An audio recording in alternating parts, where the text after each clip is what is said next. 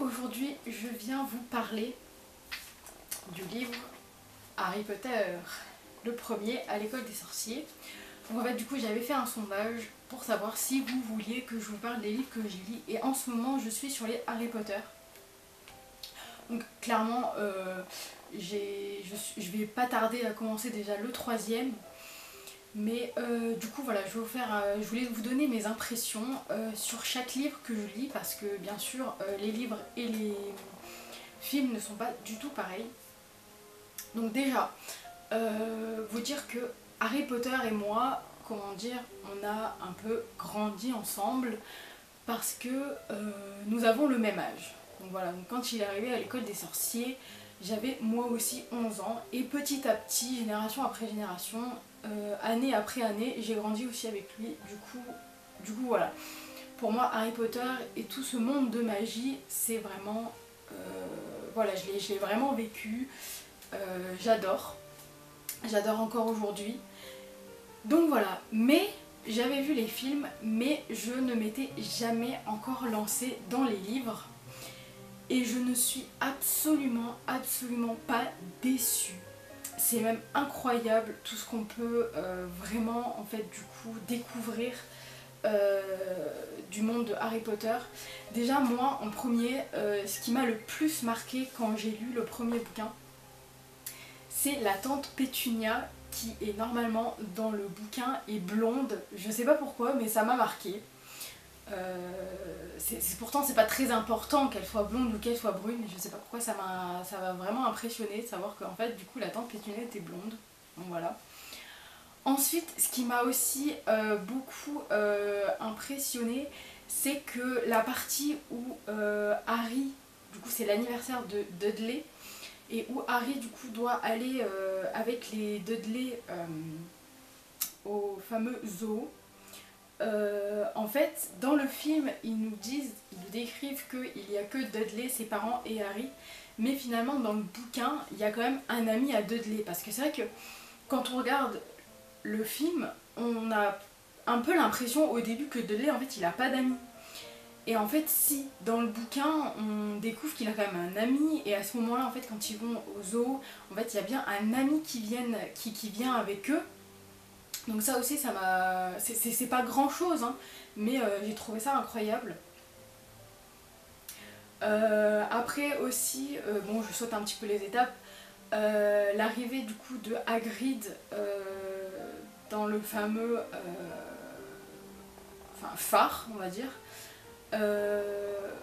pareil en fait, c'est vrai qu'on découvre vraiment comment ils en arrivent jusque là dans le film, voilà, ils, sont obligés parce que les films font quand même plus de 2h30 ils pouvaient pas tout mettre, ils étaient obligés de voilà un petit peu de bâcler, de mettre le plus important dans un film.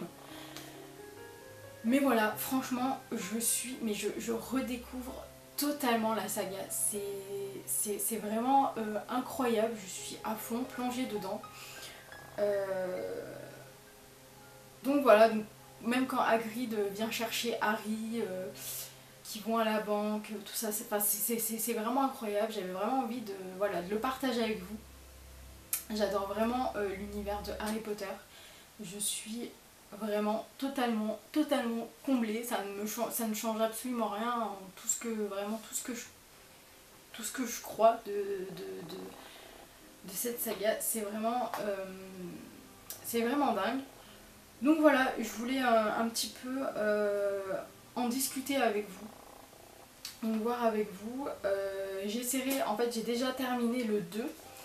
Euh, j'essaierai de voir pardon, pour tourner aussi une vidéo et parler de celui-là. Donc du, du 2. Et donc voilà. Il y a aussi euh, au moment en fait du passage au chapeau magique, du coup quand, euh, quand Harry euh, arrive à Poudlard, le coup du chapeau magique du coup c'est vraiment super parce que déjà on me l'avait dit que dans le livre on parle beaucoup aussi des autres maisons parce que c'est vrai que dans le film on parle beaucoup de Gryffondor et de Serpentard mais on parle aussi beaucoup de Serdaigle et Poufsouffle heureusement. Donc c'est vrai que le coup du choix peau magique, quand c'est bien parce qu'on découvre vraiment tous les élèves de première année qui arrivent, qui débarquent et qui se retrouvent du coup avec le choix peau sur la tête pour pouvoir être desservis dans d'autres maisons. Donc ça aussi j'ai vraiment trouvé ça super. Le coup de la musique aussi, quand quand les premières années débarquent, en fait, c'est bien que euh, on puisse du coup avoir euh, la fameuse musique. Parce que c'est vraiment, enfin, c'est quand même incroyable la différence. On en apprend tellement, tellement, tellement. Euh,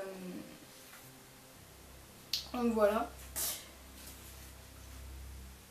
donc du coup c'est vrai qu'on s'attache vachement aussi aux, autres, aux autres élèves et aux autres maisons.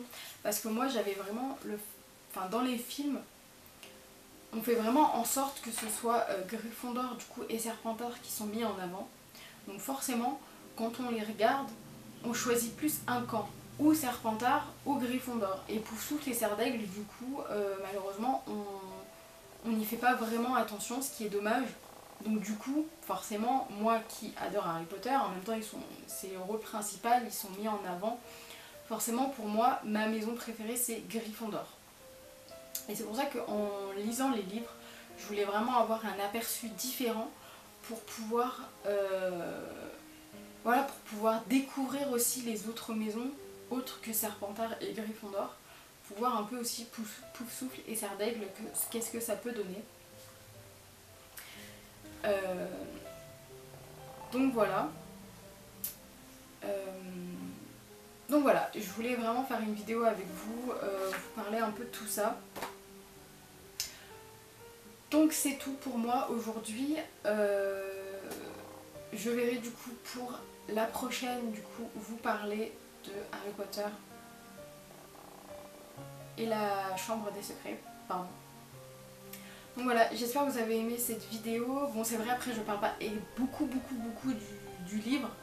Mais bon c'est vrai que j'avais juste vraiment euh, au départ envie de donner mes impressions sur la différence entre les livres et le film. Et vraiment, si vous êtes fan de Harry Potter, comme moi, mais que vous n'avez encore pas lu les livres, je vous les conseille à 100%. 100%, ça vous aide vraiment à, comprendre tout, toute l'histoire. Donc voilà, donc euh, moi je vous dis euh, à la prochaine du coup, euh, donc à mercredi pour une prochaine vidéo toujours avec Harry Potter. Prenez vraiment très soin de vous et je vous embrasse. À la prochaine